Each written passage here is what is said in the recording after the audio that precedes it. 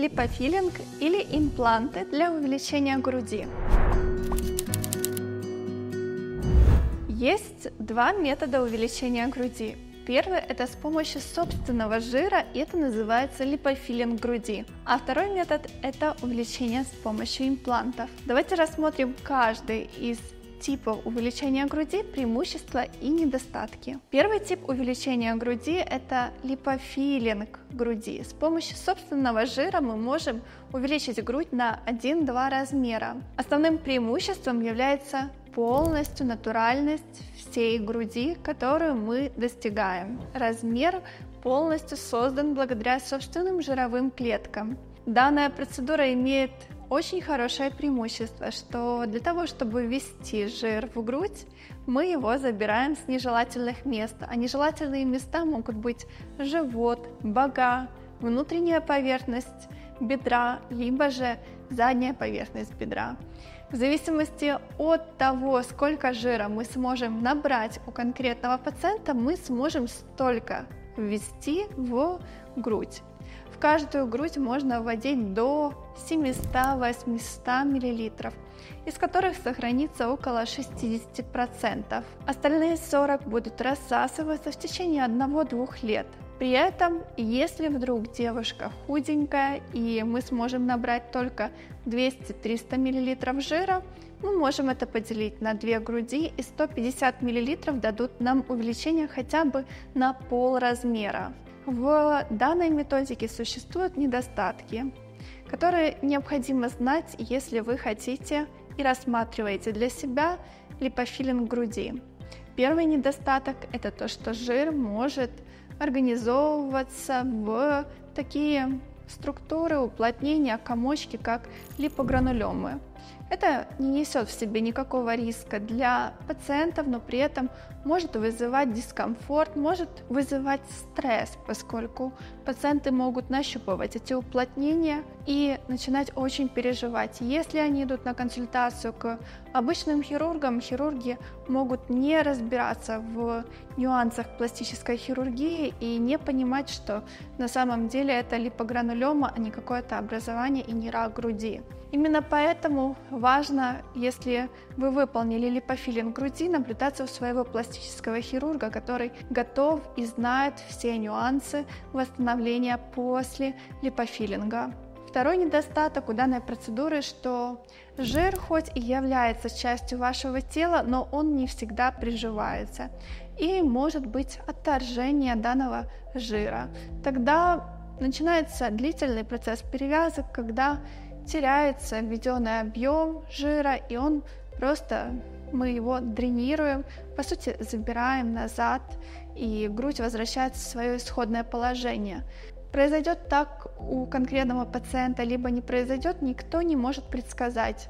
И данное осложнение крайне редкое, поэтому не надо зацикливаться на возможность. Что важно понимать, что данное осложнение чаще встречается у женщин с тубулярной грудью. Поэтому желательно, если у вас стоит диагноз тубулярность, даже приблизительно не рассматривать этот вид увеличения для своей груди. И, конечно же, третий, самый неприятный момент при увеличении груди собственным жиром – это инфицирование этого жира. Даже при соблюдении идеальной стерильности в операционной, что я считаю самый главный параметр, с которым нужно идти в операционную выполнять данную процедуру. Занесение инфекции может произойти дома, во время перевязки, когда пациенты самостоятельно выполняют это. Были такие случаи, когда пациенты начинали просто снимать компрессионное белье, носить своих домашних любимцев, которые гуляют на улице, и заносили инфекцию, в связи с чем начинался тот же процесс, что и при отторжении жира, дренирование жира с области, куда ввели. Но в случае инфицирования это более неприятный процесс, он сопровождается покраснением, болью. И дренировать чаще всего, что нужно уже в условиях операционной. Именно поэтому вы должны понимать, что процедуру липофилинга можно выполнять только в условиях операционной, только в условиях абсолютно полного контроля стерильности во время всей процедуры.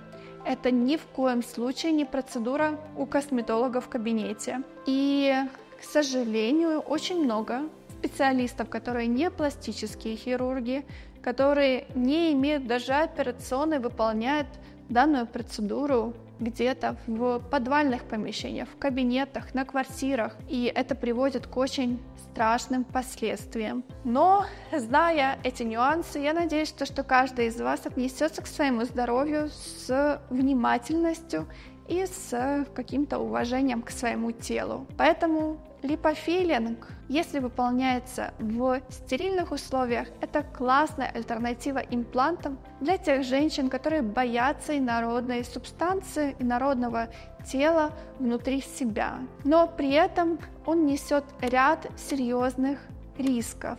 И всегда нужно взвешивать эти риски на чаше весов для того, чтобы принять правильное решение. Но существует второй метод увеличения груди, который в мире занимает первое место в списке пластических операций, которые выполняют женщины. Это увеличение груди с помощью имплантов.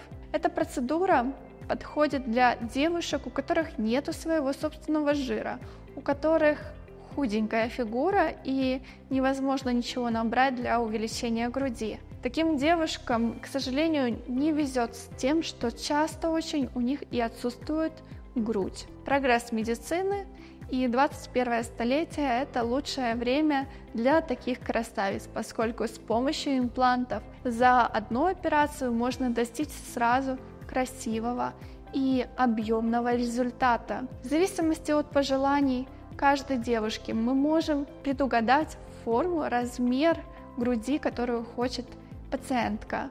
Мы можем подобрать импланты. В случае, когда мы работаем с помощью жира, мы имеем только ту грудь, которая является анатомической формой данной женщины и можем увеличить только не меняя форму. В случае с имплантами мы можем создать ту форму груди, которую желает девушка. Использовать разную ширину основания имплантов, разную проекцию, разную мягкость имплантов, разную форму имплантов и в зависимости от этого достичь желаемого результата.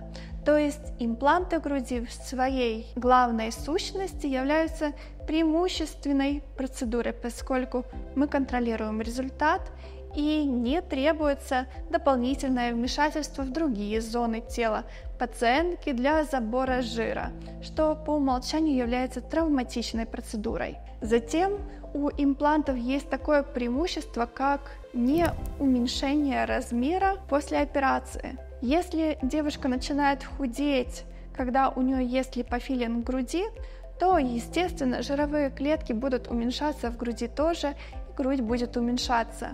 В случае с имплантами вы можете худеть и худеть, но грудь остается того размера, который у вас установлен. Благодаря этому моменту многие девушки даже начинают активно терять вес после операции, поскольку они видят, что грудь больше не спадает в размере, она держит свою форму и им уже хочется худеть, поскольку пышная форма груди, а дальше узкая талия – это, конечно же, мечта каждой девушки. Конечно же, импланты груди внесут в себе самые разнообразные риски, такие как контрактура, инфицирование при точно таких же условиях, как и при липофилинге, если нарушена стерильность в операционной, либо в послеоперационном реабилитационном периоде. Это может быть даже кровотечение, что несет в себе риски и поэтому пациент должен находиться рядом со своим доктором несколько дней, чтобы проконтролировать и чтобы восстановление проходило очень хорошо. И другие риски, связанные с имплантами, которые вы можете прочитать у нас на сайте, мы собрали полностью все возможные риски по увлечению груди имплантами, которые описаны в научной литературе в мировой практике. Это для того, чтобы вы знали, что несет в себе данная процедура, знали, насколько часто встречается какой-либо риск и как можно поступать в зависимости от того, что у вас возникло. Что важно понимать, что данные риски встречаются крайне редко. но даже если встречаются, их все можно решить. Для того, чтобы определиться с вариантом операции, какой лучше для вас, в первую очередь нужно прийти на консультацию к пластическому хирургу и обсудить тот вариант, который вам больше нравится. Вы сможете проговорить результат, который можно добиться, и забронировать дату операции. Для того, чтобы прийти к нам на консультацию, вы можете связаться с моей помощницей по данным номерам телефона и записаться, забронировать свою дату и время. Затем мы с вами посмотрим, какая у вас анатомия, какие у вас желания по результату и как можно достичь данных результатов. И после этого встретимся уже в операционной для создания идеального тела, про которое вы мечтаете. И если вы еще не подписаны на наш канал, обязательно подписывайтесь, поскольку у нас очень много информации о реабилитации и как пациентам нужно следить за послеоперационной зоной. Если вдруг у вас остались вопросы, пишите в комментариях. И до встречи в клинике!